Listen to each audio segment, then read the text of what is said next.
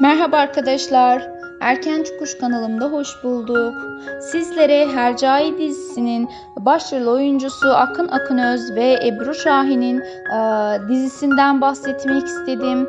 Dizi e, artık son buldu ve son bölümü de çekildi ve dizi biter bitmez Ebru Şahin ve Akın Akınöz'ü birbirlerini takipten çıkardılar. Instagram'da birbirlerini izlemiyorlar. E, kavga ettiler biliyorsunuz. Sette kavga çıktı ve Akın Akınöz'ü e, sette e, çok kötü bir kavga çıkardı ve herkes Akın Akınöz'ü çok kötü değerlendirdi ve sizler için de e, yepyeni karelerini sundum ve kendi Instagram hesabında e, Akın Akınöz'ü ve Ebru Şahin e, karelerini paylaştı ve Reyhan karakterine ve Miran karakterine veda ettiler.